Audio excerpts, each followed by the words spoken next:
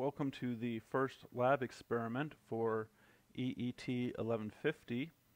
Uh, normally I would not be doing the measurements for you. Normally you would have your electronics kits um, to be doing the measurements, but because of the COVID-19 uh, situation, our vendor has been delayed on shipping us the supplies um, and which has delayed us shipping them out to you.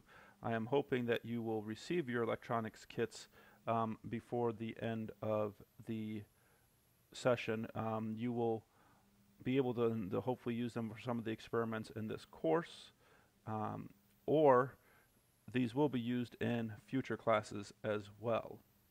All right, so let me quick give you a little tour here of some of the things that we have in our electronics kit. Some of the stuff you'll see here is not going to be stuff you'll be receiving. Um, I've had to move basically all of the lab equipment we use in both the electrical and computer engineering and EET program um, home uh, because I've been doing everything from home. So first let's focus on this oscilloscope here. You'll be receiving the Rigol oscilloscope. Uh, we won't be using this in the first couple labs, uh, but we will talk about it. To the left here you see that this is basically another oscilloscope. It's a Tektronix one.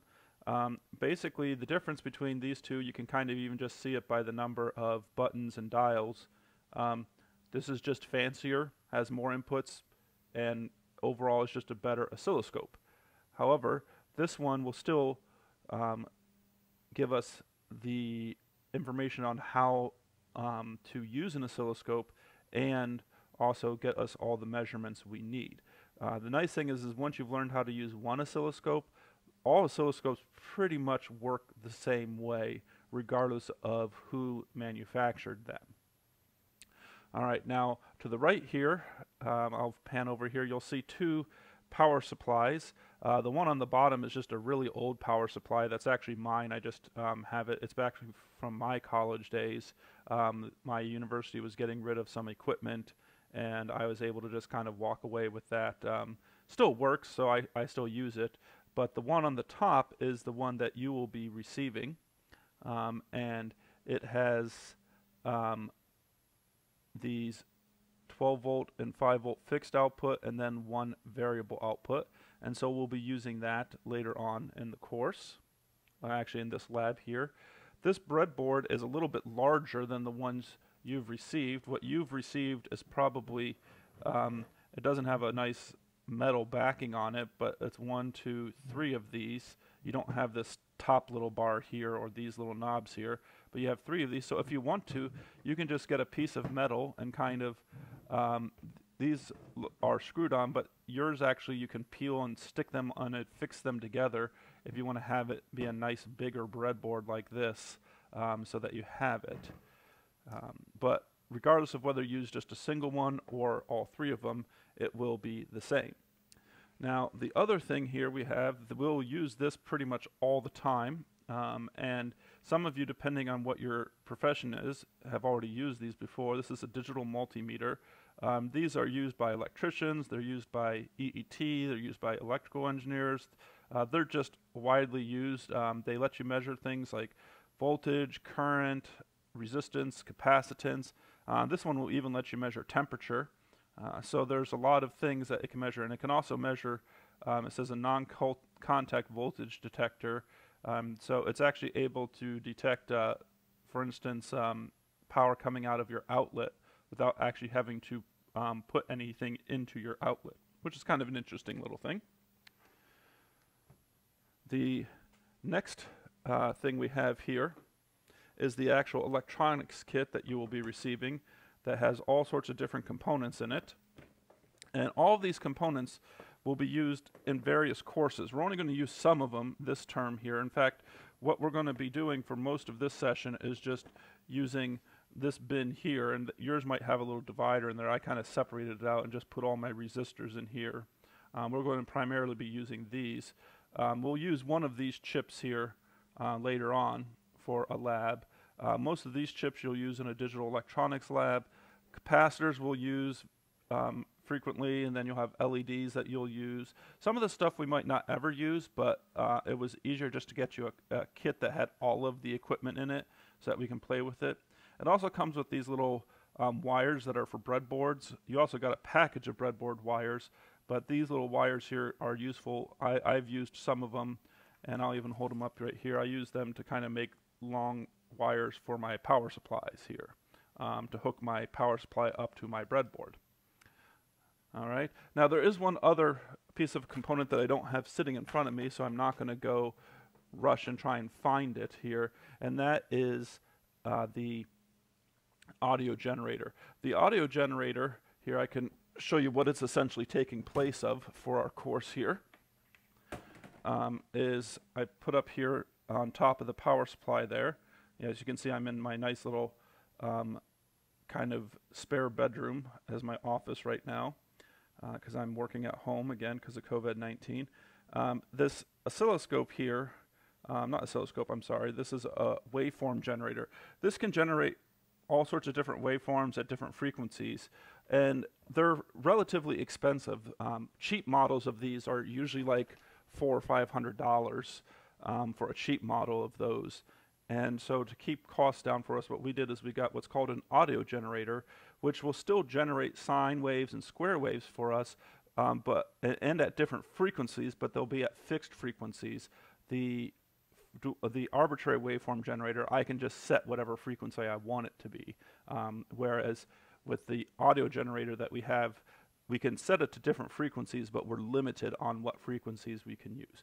But again, that is fine. It will be fine for our course.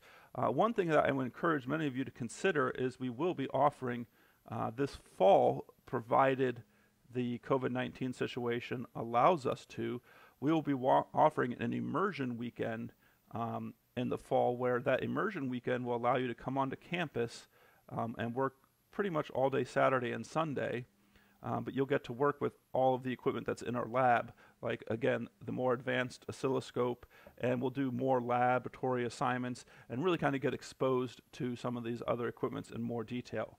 Um, and so I encourage you all to participate in that. Uh, it is not a requirement of the program, but you will th those will grant you a lot of good information and, and make your experience with this uh, program even better. So I encourage you as much as possible to attend those. All right, so now let us get into the actual lab assignment here. So I'm going to Alt-Tab back to a lab assignment here. So this is the first lab assignment. Um, and, you know, they a lot of theory on how to measure things here. Um, and also talking about how a breadboard works. And we'll kind of examine that here as we go through this, um, and then what the goals are, and some of the information here, and then also downloading Cadence. Um, there is actually a different version of Cadence that you can download. It takes more time to get access to it, so I would use the link that's provided here. That link that you download in this document is a 30-day free trial, but as a student, you actually can get access to a full version of Cadence for free. Uh, you have to fill out a form and present your student ID, but it can take three to four weeks for that process to um, take full effect. And so that's why I encourage you to download the trial first, and then you can get the full version later. All right, so let's go back here. So let's go to the experimental procedure. So this is the circuit we're going to build. Now, first off, we have to find these resistors in our um, component kit.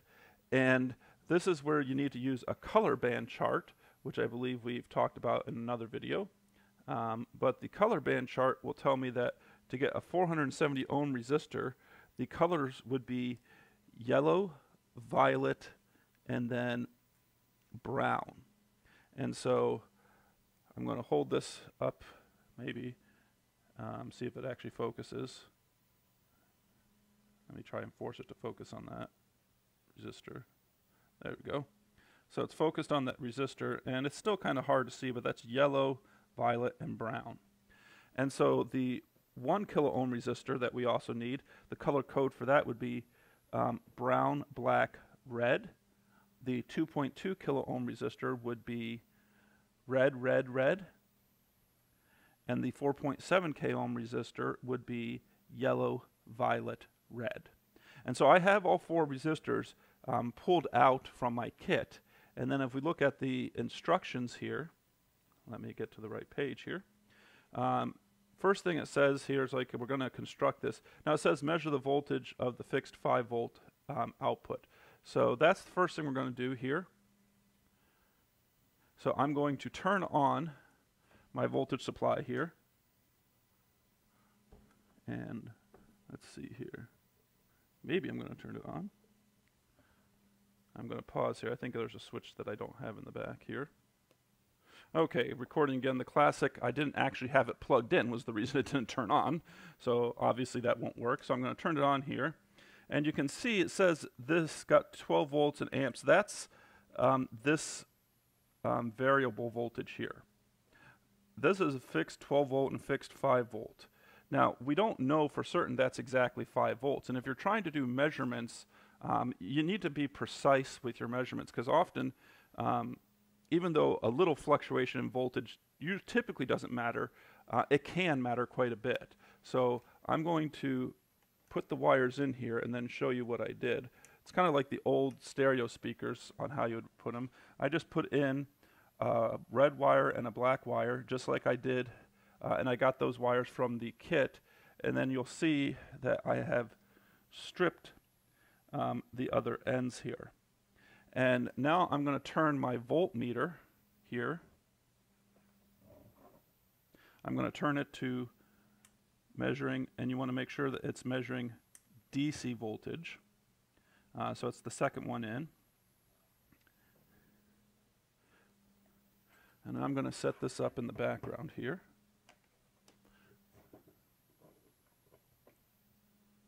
So that we can see it maybe, there we go.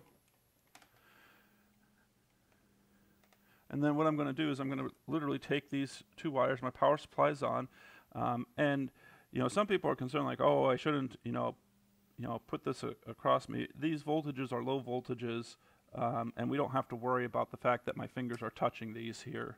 So I'm literally just holding these in place here um, to measure the voltage.